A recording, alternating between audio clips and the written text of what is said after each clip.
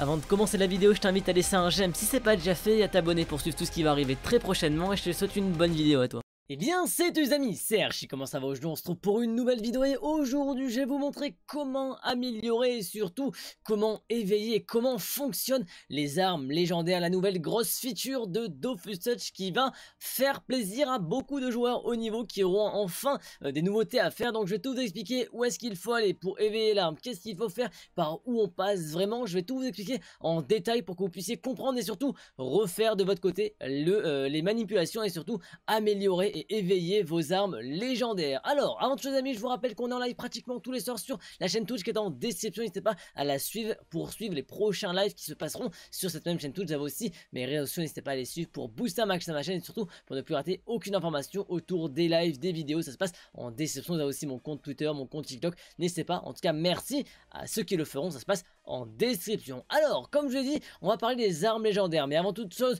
il faut que je vous montre où on va pour aller déjà euh, établir, pour aller euh, éveiller votre arme légendaire. Donc ça se passe du côté de Pandala. Vous avez cette grande porte rouge, comme vous pouvez le voir ici.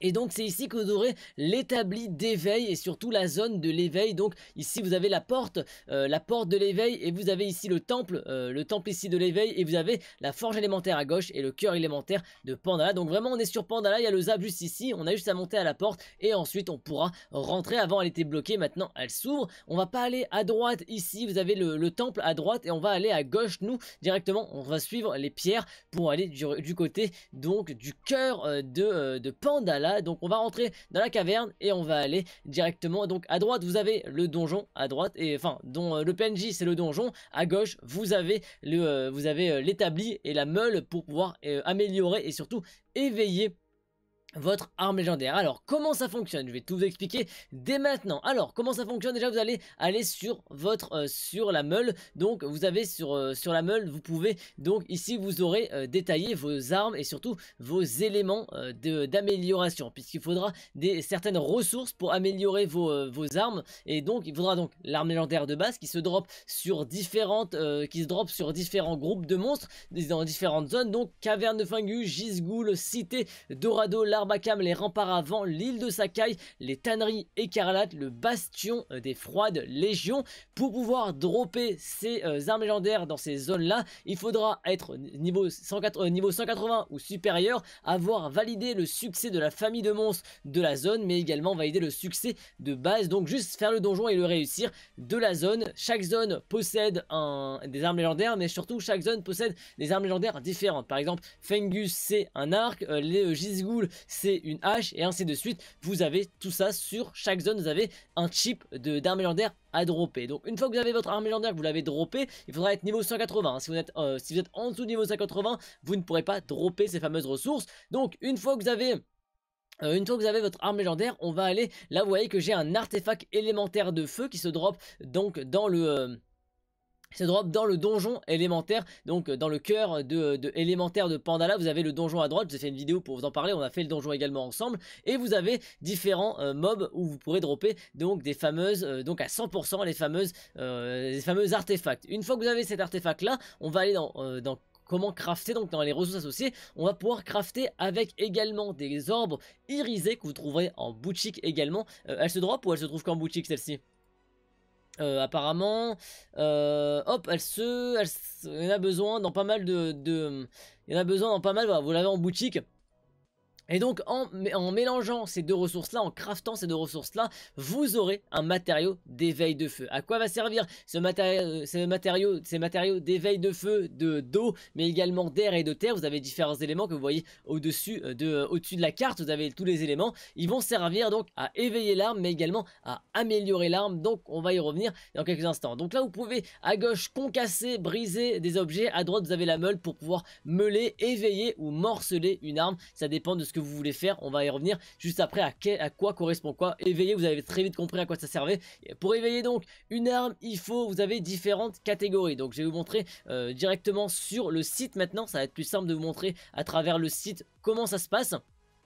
Alors, vous avez ici donc, comme je l'ai dit, vous avez, euh, l'éveil. L'éveil, comment ça se passe? Vous avez ici donc l'image, vous avez différentes choses à faire. La première chose, c'est de choisir quel élément vous voudrez améliorer sur votre arme. Votre arme à droite, elle est endormie. Il va falloir choisir à gauche euh, qu'est-ce que vous voulez améliorer sur l'arme plus tard? Ça veut dire que l'arme aura ses caractéristiques de base. Par exemple, là, ils ont choisi puissance. La caractéristique de base sera 6 dommages feu. Ça ne bougera pas puisque c'est dommages élémentaires. On a choisi de mettre un, artefact, euh, un matériau feu, donc le dommage élémentaire est passé en feu, et ensuite, là, cette caractéristique là de dommage feu ne bougera pas, et par contre, vu qu'on a choisi ici puissance, la puissance pourra évoluer selon les niveaux de l'arme qui va, qui va, que l'arme va évoluer. Donc là on est niveau 1, on a 10 de puissance et on n'a pas de bonus à droite. Mais par contre quand on sera niveau 2, on va prendre plus 5 de bonus par contre, si vous voulez choisir par exemple les dommages feu ici, et eh bien les dommages feu, vous mettez, vous cocherez ici en bas dommages feu et ce seront la puissance qui va pas bouger de 10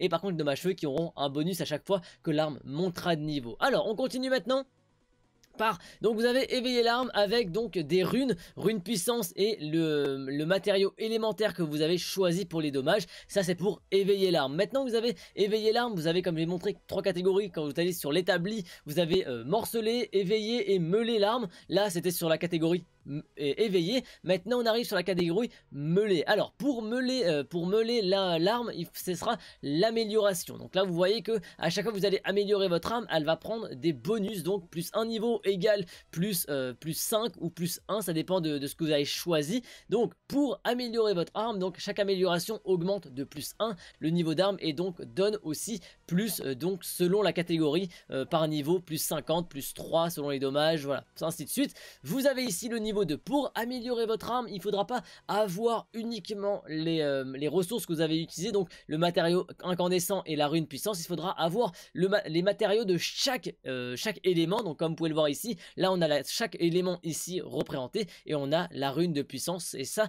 quand on meule tout ça, donc il en faut un de chaque, ça améliorera l'arme de plus 1 et donc ça donnera plus 5 de puissance pour les caractéristiques ici. Et il vous en faudra donc il y a 15 niveaux, ça veut dire qu'il faudra 15 matériaux de chaque plus 15 runes de puissance, euh, les, runes de puissance 3 étoiles, donc maintenant ça a été euh, changé un petit peu l'apparence pour pouvoir améliorer au maximum le niveau d'arme. Une fois que vous avez le niveau d'arme maximum, vous avez 10 de puissance de base plus 70 en bonus et vous avez toujours les dommages feu qui n'ont pas bougé puisque c'est c'est la, la, caractéristique secondaire qui n'a pas été évoluée. La caractéristique, euh, la puissance par exemple qui est évoluée, c'est la caractéristique, caractéristique primaire. La caractéristique qui ne bouge pas, c'est la caractéristique, caractéristique pardon, secondaire. Maintenant, passons au morcelage. Alors une fois que vous avez amélioré votre arme complètement et que vous voulez plus vous en servir et que vous voulez changer d'arme et qu'elle ne vous sert plus à rien, vous pouvez la morceler.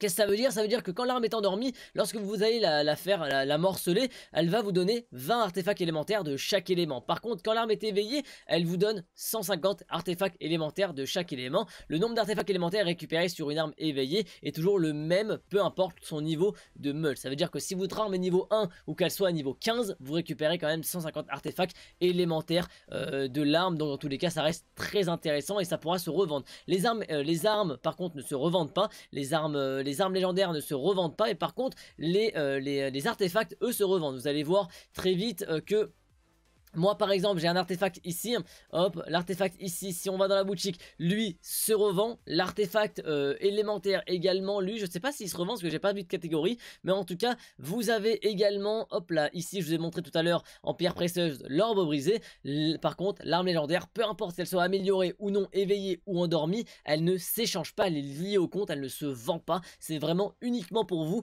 Mais par contre si vous voulez faire du bénéfice par contre avec ça il faudra vous pourrez par contre la, euh, la mort pour pouvoir récupérer des artefacts. Par contre, eux, je ne sais pas euh, s'ils se revendent parce que je les ai pas en boutique. Donc potentiellement, également, les artefacts que vous allez crafter, bah si, en fait, ils se revendent vu que vous allez les crafter. Donc en fait, non, ils se revendent pas puisque vous allez les crafter avec l'appareil de concassage des ressources. Donc en fait, tout est lié au compte. Tout ce qui tourne autour des larmes légendaires est lié au compte. Vous pourrez uniquement revendre les artefacts que vous droppez dans le donjon. Donc les artefacts comme j'ai ici, ce sera pas les matériaux élémentaires, hein. ce sera bien les artefacts, ce seront bien les artefacts qui sont vendables et ils se vendent quand même très très cher puisque on est sur la bêta donc ça coûte très cher mais en général également ça pourra valoir assez de Kama. Donc en tout cas voilà comment fonctionnent les armes légendaires, comment les améliorer, comment s'en servir. Ça se fonctionne comme ça, comment l'éveiller, euh, l'améliorer mais également la morceler pour récupérer des artefacts et ensuite pouvoir passer à une nouvelle arme légendaire. Vous avez comme je dis différentes catégories que vous pourrez utiliser et améliorer. En tout cas j'espère que ça vous aura plu, vous aura aidé à agisser la nouvelle feature des armes légendaires sur Dofus Touch. En tout cas, j'espère que cette vidéo vous aura plu.